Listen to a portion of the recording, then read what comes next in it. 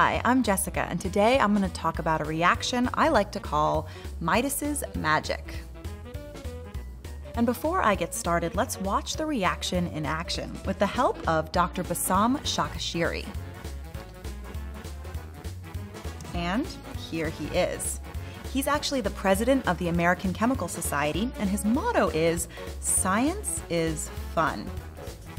Here he is at MIT, and let's see what he has to show us. Watch this. Here's, here's I take this clear and colorless liquid, and I put some of it in the beaker, about 100 milliliters.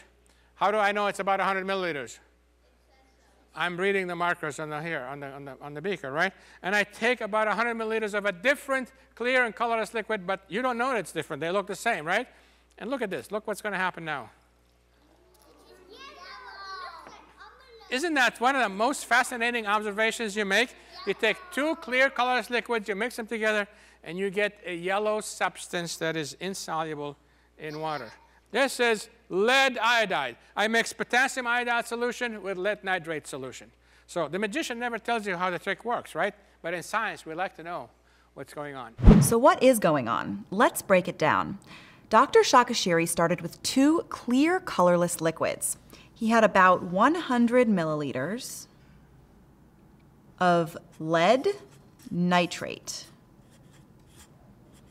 And that's aqueous, it's in solution. And about 100 milliliters of potassium iodide, also aqueous. And when he mixed those together, he got a yellow precipitate. let's color that in yellow. A precipitate is a solid. So how do we know what this yellow solid is? Well, this is a reaction that's called a double displacement reaction. And in this kind of reaction, the cation and anion pairs switch places. So what exactly does that mean? I'm going to use some colors to help me out. So we've got cations and anions in each of these compounds. The cations have positive charge. So in this case, it's lead, which has a 2 plus charge, and nitrate, NO3 minus.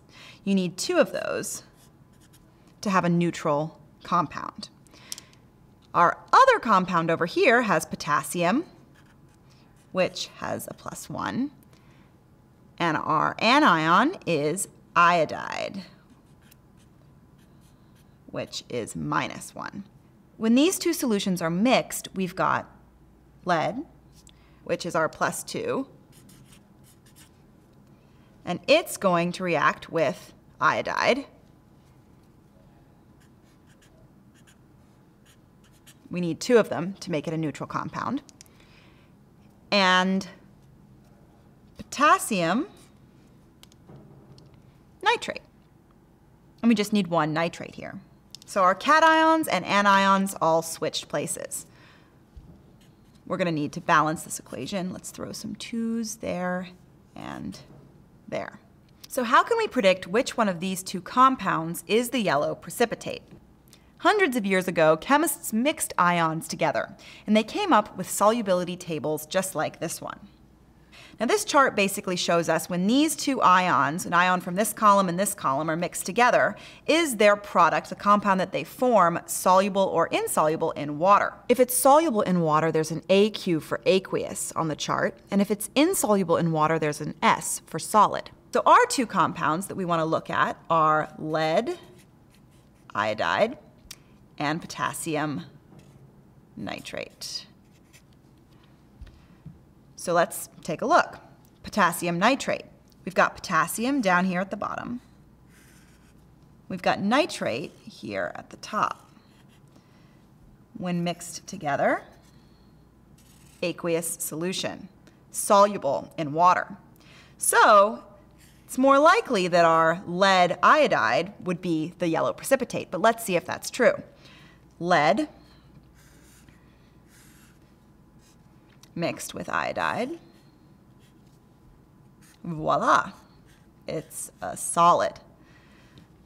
So to recap, solubility tables help chemists predict whether or not a precipitate will form when two solutions are mixed. So, going back to our equation here, the lead iodide, this is the yellow precipitate. It's a solid. And the potassium nitrate is aqueous. And even though I didn't paint my nails with this particular pigment, lead iodide, creating nail polish colors is one of the many different things that chemists can do. So there we go. I hope you enjoyed Midas's magic, and I will see you next time.